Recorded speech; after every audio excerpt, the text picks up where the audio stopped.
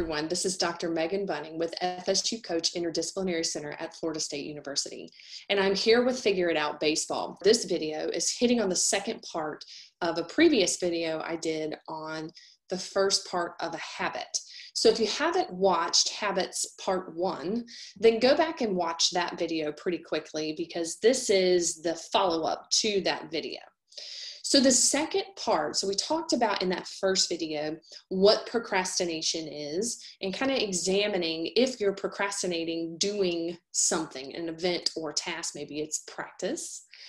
And then there's the second part of a habit. And so the first part of that habit is there's a cue or a trigger that's going on in your environment that is triggering you to behave in the way that maybe you want to change or you want to alter. So if that is for you, you don't want to practice, and so you keep putting it off, what is going around you that is triggering you to, to not practice, right? So what is a cue? It could be an event, it could be somebody, uh, it could be how you feel, and remember that that procrastination from video on the first part is that discomfort receptor in your brain. And that discomfort is, is helping you to avoid going out to practice.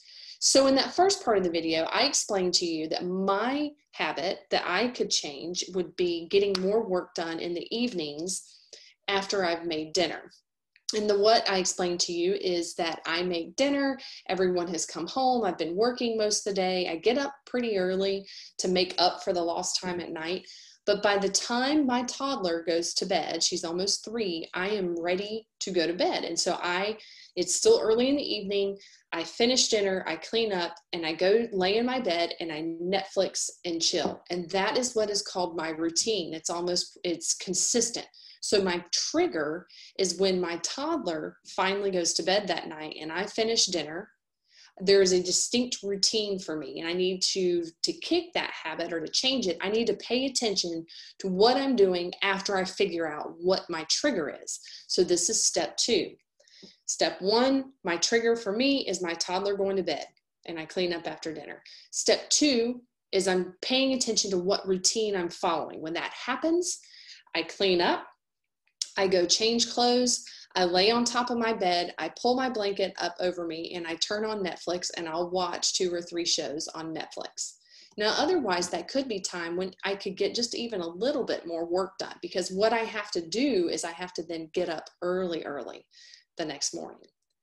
So, when you're thinking about what it is that you want to change, first go to step one and identify what is triggering you? What is your cue? And then pay attention to the routine that you're following after because the routine is going to be extremely important. That's where you're really going to hit your change. If you're going to try to change a habit, you've got to figure out what's triggering you so you can be aware. And then you've got to work to change whatever routine it is that you're following. So in my situation, I would have to, I know what my trigger is. I would have to do something, even a little thing, just to shake my routine up to get myself out of that habit. But, and I'll talk, I'll put this in, in the fourth video, I'll put it all together with my personal um, behavior that I would like to change and what that shake up in my routine could look like.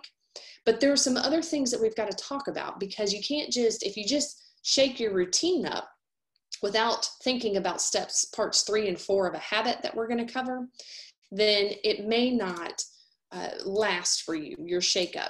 So, just to reiterate, part one, we talked about the first part of a habit, this cue or this trigger that's triggering this procrastination, this, this behavior that you're trying to avoid. Part two is paying attention to there's this trigger, you're avoiding practice, you're avoiding doing more work, whatever it is. What routine are you getting yourself into? Pay attention to your routine. In the next video, step or part three, we're going to talk about something called the reward, and then we'll finish with the fourth part called the belief. Just to recap, in this video, we covered part two about what is my routine after my trigger? What am I doing after I'm triggered to avoid this behavior so that I can pay attention to how to change that? Catch part three and four for the rest of what goes into a habit. I'm Dr. Megan Buning with FSU Coach.